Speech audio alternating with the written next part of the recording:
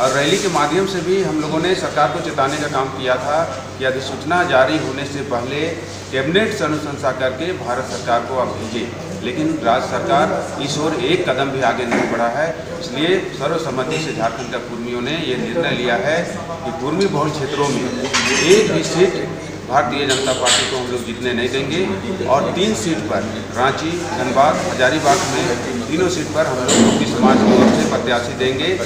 और चैबासा क्योंकि चतरा और गोड्डा जैसे सीटों में जहाँ कुर्मियों की आबादी है, वैसे सीटों में जो हमेशा से भाजपा को वोट देते आई है, इस बार हम लोग भाजपा को वोट नहीं देंगे, भाजपा को हराने का काम करेंगे।